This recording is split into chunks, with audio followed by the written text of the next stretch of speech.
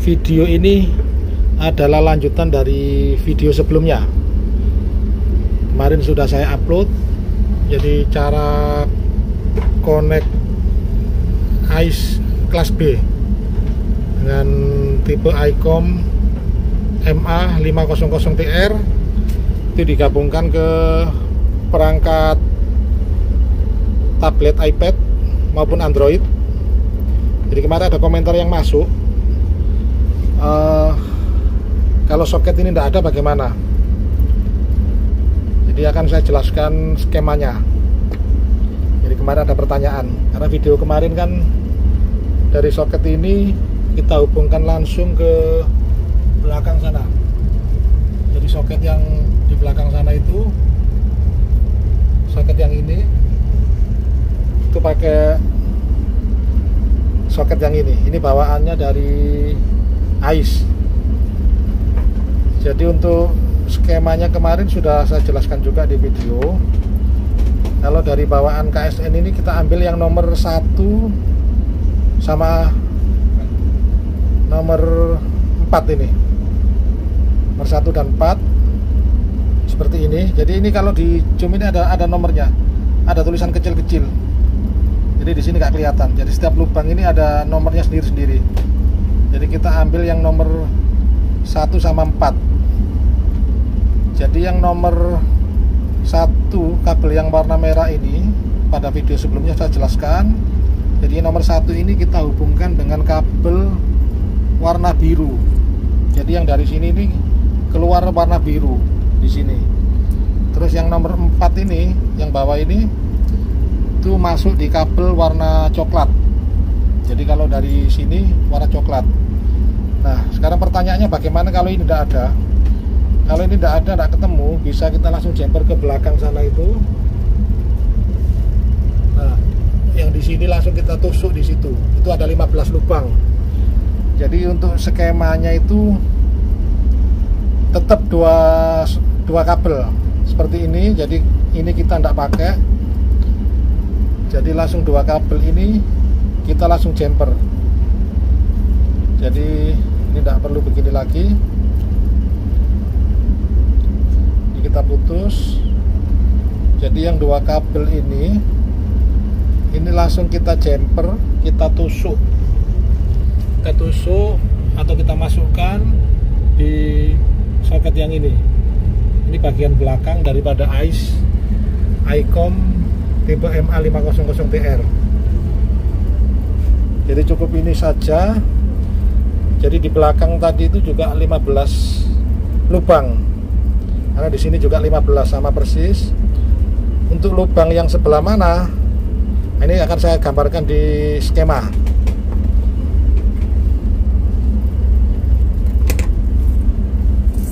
Jadi seperti ini gambarnya. Jadi kita gambar dulu yang soket ini ini yang bawaan dari Ice Pilot Club. Jadi bentuknya bulat. Bentuknya bulat seperti ini. Dia ada banyak sekali lubang-lubangnya ini. Jadi intinya kita ambil nomor 1 dan 4 dari sini. Jadi anggap aja uh, ini ini nomor 1 sama nomor 4 nah, jadi yang dari KSN ini 11C uh, seperti ini. Ini yang saya gunakan di pilot plugnya pakai yang ini. Jadi kemarin sudah saya jelaskan juga di video ada beberapa tipe. Jadi ada yang tipe C, tipe B juga tipe di atasnya bermacam-macam. Namun prinsipnya sama tetap kita ambil dua kabel saja. Nah, jadi dari sini ini kita sudah tidak pakai anggap tidak ada jadi dari sini kita ambil dua kabel begini kita hubungkan. Jadi ini kabel dua kabel ini nomor satu dan nomor, 4 jadi uh, untuk menentukan satu empatnya kita bisa lihat di sini. Jadi di sini setiap lubang itu ada nomornya kecil sekali. Nah ini tidak kelihatan di kamera. Jadi ada keterangannya nomor-nomornya ini. Jadi kita tentukan nomor satu dan nomor 4 terus untuk yang ini ini yang terhubung ke AIS tadi. Ini sudah ketemu saya sudah cari ketemu jalurnya jadi skemanya seperti ini. Jadi kita anggap kita gambar ya. Ini dia bagian atas agak lebar bagian bawah agak nyempit ini. Jadi bukan bukan persegi ini gambarnya. Yang ini yang bawah agak agak sempit yang atas agak lebar. Jadi nah, kita gambar dulu yang ini jadi kurang lebih seperti ini gambarnya. Dia. Jadi yang bawah agak-agak menyempit begini dia. Begini. Terus untuk pinnya sendiri ada 15 pin. Jadi 1 2 3 4 5 terus yang bagian tengah dia agak geser ke kiri. Jadi dia tidak lurus 1 2 3 4 5 terus bagian yang bawah dia lurus dengan yang atas seperti ini. Satu dua tiga empat lima. Seperti ini. Jadi ini ada nomor-nomornya sendiri-sendiri. Jadi kalau di kabel ini ini sudah ditandain. Kalau kabel bawahnya ice ini jadi yang yang warna hitam begini. Dia nomor nomor nomor ini dia. Dia nomor satu. Jadi yang warna hitam nomor satu.